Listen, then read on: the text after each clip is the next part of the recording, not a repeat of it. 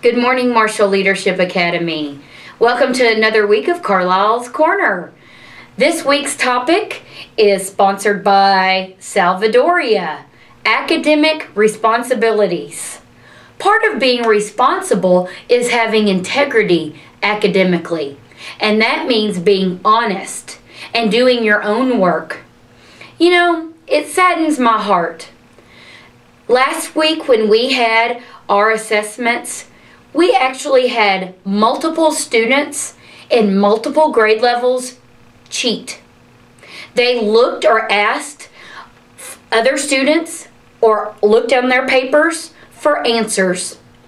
It was very upsetting because our students are smart enough and have been taught and they know the right answers.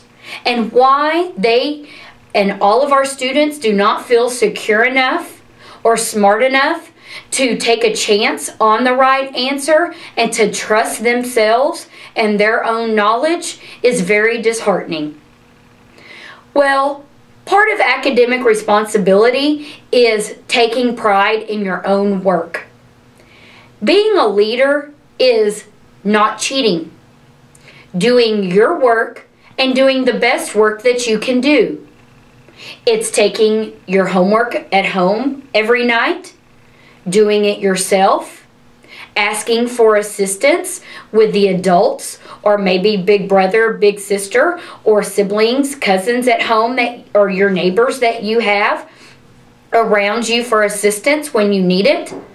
And then taking pride and responsibility to bring it back and turning it into your teacher and then doing the very best that you can in the classroom, listening, asking questions, working with your partner, with your groups, and asking for assistance with your teacher during class time and in tutoring and Thursday school or in enrichment to help you learn and grow. Academic responsibility. It is on you to learn. Even as a kindergartner, all the way up as an adult. It's my responsibility as the principal when I go to a meeting at the Ed Center where I listen to my boss. I have to raise my hand to get clarification at a meeting. I have to take good notes to meet deadlines. It is my responsibility to get the information to clarify when I am confused and to get the information I need to do the work that is expected of me, just like it is you, boys and girls. That will never change as a student, even as an adult in a job. So take academic responsibility in yourself to learn and grow.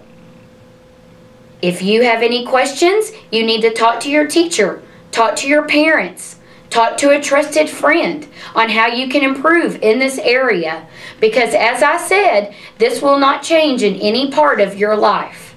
And I hope, boys and girls, that you are not one of the ones I'm talking to, that you have integrity and responsibility, and you take pride in your learning and do the right thing, even when nobody is watching.